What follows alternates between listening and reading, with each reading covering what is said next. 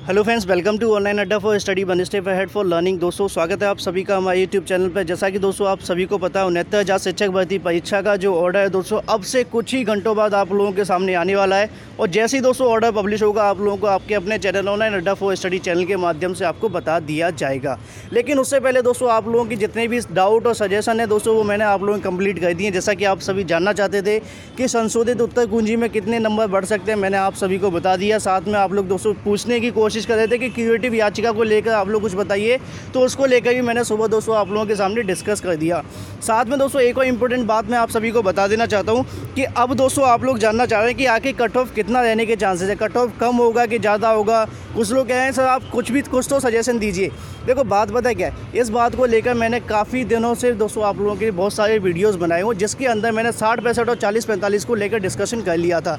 मैंने काफ़ी कुछ आप लोगों को पहले भी बता दिया था। जैसा कि दोस्तों आप सभी को पता जब बहस चल रही थी तो कोर्ट के अंदर जस्टिस राजा सिंह चौहान जी ने इस बात को कंसिडर किया था कि उन्होंने कहा था कि अगर सरकार चाहे तो नियमावली में संशोधन करके, नियमावली में संशोधन करके नब्बे सतानवे पर भर्ती प्रक्रिया को संपन्न करा सकती है। तो ऐसा कुछ दोस्तों, जस्टिस राजा सिंह चौहान ने कोर्ट में सबके सामने कहा था। ठीक है? तो अब बात कर लेते हैं कि डिसीज़न कितने पर आएगा। क्योंकि इसमें काफ़ी ज़्यादा कहीं ना कहीं सोशल मीडिया पे बहुत छिड़ी हुई है। कुछ लोग बोल रहे हैं कि साठ पैंसठ होगा। तो कुछ लोग कहते हैं कि अगर साठ पैंसठ होना होता तो इतने दिन केस नहीं चलता। अब कुछ लोग इस बात को कंसीडर कर रहे हैं कि चालीस पैंतालीस हो जाएगा। चालीस पैंतालीस वाली बात काफ़ी ज़्यादा ऊपर उठ रही है। देखो, चालीस पैंतालीस भी नहीं होगा, मैं आप सभी को बता देना चाहता हूँ। बीच में कुछ लोग पचास पचपन भी बोल रहे हैं तो आप दोनों में मेरी बात को समझ लीजिए। सरकार द्वारा साठ पैंसठ डिसाइड किया गया, जो कि एक इलीगल कट ऑफ़ अगर माना जाता है, अगर प्रूफ हो गया है कोर्ट के अंदर, अगर कोर्ट जज जज साहब इस बात को मानते हैं कि साठ पैंसठ इलीगल है तो आप लोग इस बात को स्टार बना करके लिख लीजिए कि चालीस, पैंतालीस और पचपन, पचास, दोनों की दोनों कट ऑफ़ कोई नहीं आ सकती है, क्योंकि सारी की सारी cut off after the notification result जो नोटिफिकेशन के अंदर कोई भी कट ऑफ़ अगर साठ पैंसठ जो इलीगल माना जाता है तो उसके बाद सारे के सारे कट ऑफ़ इलीगल माने जाएँगे।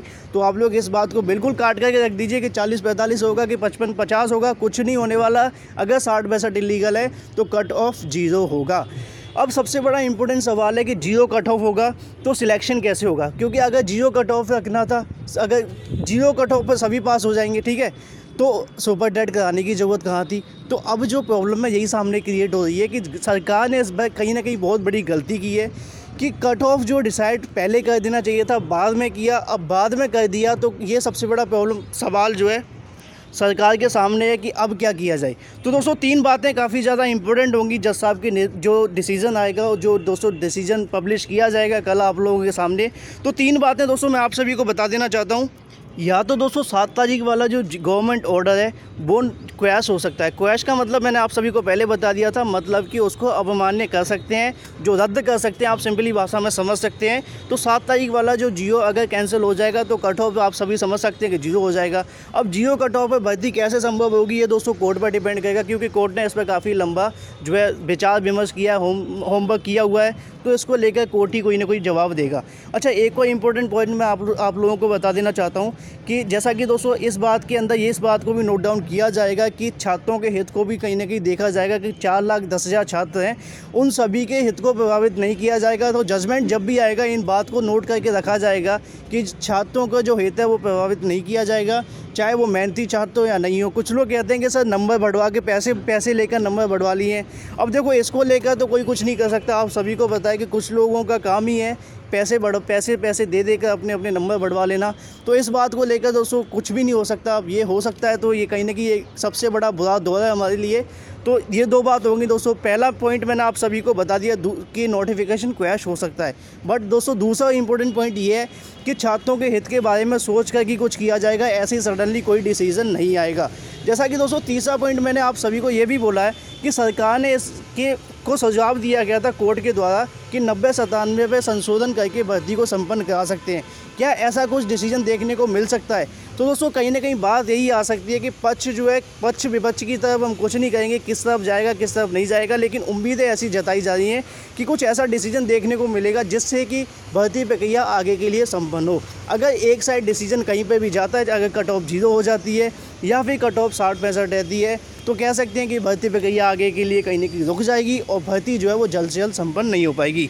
तो उम्मीद दोस्तों, मैंने आप सभी को यही बता दिया कि साठ पैंसठ, पचपन, अगर साठ पैंसठ इलीगल होता है तो पचपन पचास हो, चाहे वो पैंतालीस, चालीस हो या कुछ जो भी हो, वो सब का सब इलीगल माना जाएगा अकॉर्डिंग टू दोस्तों नोटिफिकेशन तो छात्रों के हित को प्रभावित ना किया जाए, ऐसी उम्मीदें लगाई जा रही हैं। बाकी जैसे ही जजमेंट डिलीवर्ड होगा, आप लोगों के सामने आ जाएँगे।